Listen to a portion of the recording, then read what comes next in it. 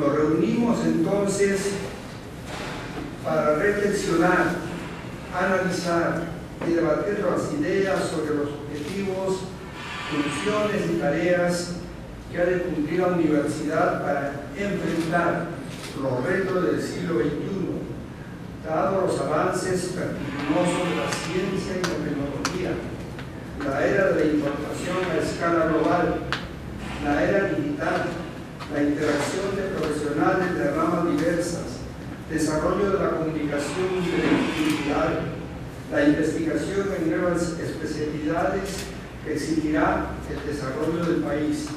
La diversidad eh, es un término ahora digamos difícil de definir, sin embargo, en su propia etimología original es, uh,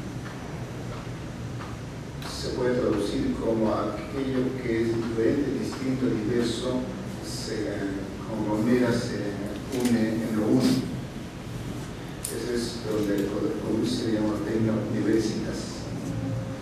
Sin embargo, en estos tiempos ha ido variando eh, muchos significados sentido, particularmente lo podría entender yo como una, como una comunidad, queremos, o si no, sistema social, desde el punto de vista modelo también, pero es, una, es un sistema, una comunidad que produce, que está preocupada por la transmisión y por la difusión de conocimientos desde una perspectiva científica Estamos trabajando eh, con varios conceptos. Primero, el concepto de investigación. Segundo, el concepto de gestión.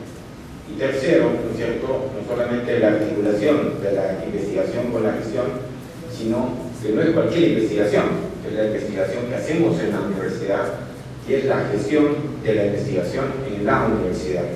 Lo cual de alguna manera nos lleva a intentar entender un nivel de especificidad que tenemos que tratar de identificar, porque la gestión en general, la gestión que se aplica en el sector público en el sector privado, no es necesariamente la gestión requerida en el campo universitario, como la investigación en general de un instituto científico eh, no es necesariamente la misma que se tiene que desarrollar en un, ambiente, en un ámbito universitario.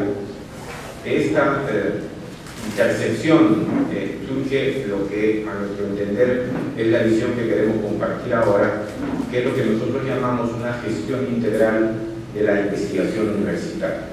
Estamos en un momento, desde hace unos 40 años, vivimos un momento de cambios importantes en, el mundo. Y, hay eh, formulaciones filosóficas, hay pensadores, hemos señalado acá el paradigma de la complejidad, el pensamiento completo, que trae importantes aportes. También una serie de conflictos sociales, académicos, eh, dentro de la ciencia, los criterios de verdad, que son temas cotidianos en nuestra actividad académica. Desde hace 8, 7 años que se han elaborado las ordenanzas regionales en Apurímac, en Ayacucho, en Cusco, donde se pide de que los futuros funcionarios deben saber al menos dos de las tres lenguas en las regiones.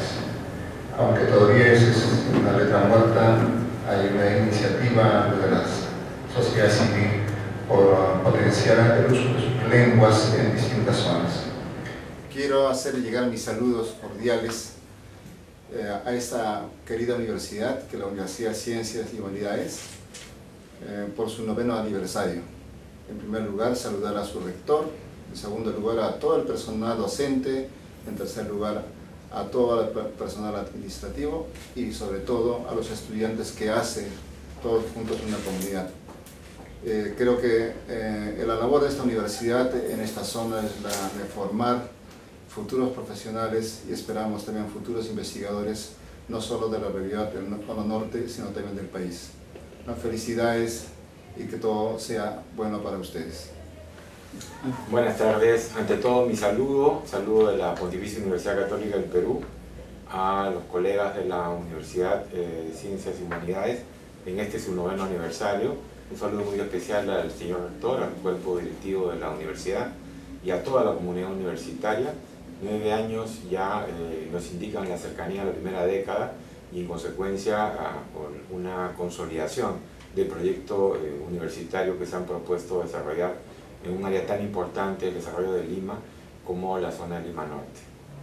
Quiero enviar un saludo a la comunidad universitaria, al doctor César Ángeles, rector de esta universidad, por el cumplimiento de estos nueve primeros años, que estoy seguro que van a continuar mucho más, dado que he podido observar un equipo docente, entusiasta y sobre todo con mucha responsabilidad social, académica, que vislumbra un buenos ahorros a los estudiantes y a la comunidad de esta zona norte.